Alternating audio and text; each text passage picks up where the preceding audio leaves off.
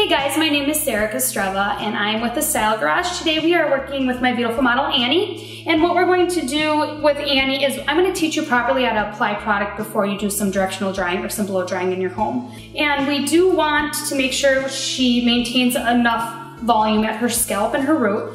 And then through her ends, we have to make sure that she maintains moisture. She is a blonde, so they tend to lack a little bit of moisture in their hair.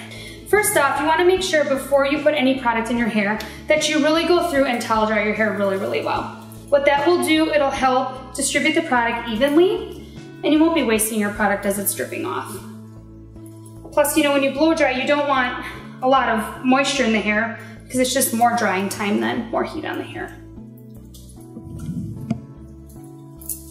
All right, I'm gonna start with just staying alive. It's a leave-in treatment. It helps with strength, helps with moisture, and again, because she is a blonde, we do need to add some strength to her hair. We do flat iron, we curl her hair, we round brush, we can do a bunch of different things with her hair. And when you're applying this product, you can see how I'm kind of lifting the hair up, and then I'm just spraying gently. Nothing wants to be sprayed close. Make sure it's all about 8 to 12 inches away. And you just want to make sure it's getting a nice, even spray throughout the hair. Now this product is a leave-in conditioner type, but it is so light that if you get a little bit on the root, it's not really gonna hurt anything. And you'll feel that in there too, you know, it really has a lot of moisture to it. Okay, I'm gonna go to the anti-gravity spray. And how you apply any root lifters, anti-gravity sprays, anything where you want maximum lift at the root, you wanna make sure that you're dividing the hair and you're spraying on the root.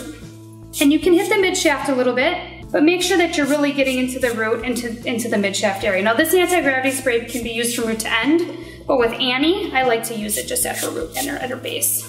Now what's good with this is it does have moisture molecules in it as well, but it also does a lot of volume, gives a lot of volume and lift and hold. This is really good for second and third day hair. If you don't use a root lifter at home, I would highly recommend it. It helps with cutting that grease so the second day you don't feel like you're real greasy at the scalp. I'm gonna take the Young Again infused treatment oil. I'm gonna use about a dime size for her length. Rub that through your fingers, make sure you get it really even. And then you're just from your mid shaft to ends, you're coming out with this. This doesn't belong at your roots, it is an oil. Any type of smoothing creams or treatments, things like that, you really don't wanna put them at your roots. Again, that will weigh your hair down, especially Annie's because hers, hers is very fine. So this is um, giving it a lot of moisture through the ends. So as you can see, I'm just marking mid shaft to ends. I'm not doing anything at the root area. Now what's really important, guys, is to make sure that you take your comb, comb this product all the way through. What's this doing is it's taking our root lifter, our anti-gravity spray, and it's pulling it through to the infused oil, and then making sure that everything is distributed equally from root all the way to the end. Now Annie does work with a bang, so we're gonna head and go ahead and part this bang off. We're just kind of getting her ready for her directional drying, and that's basically going to be your product application.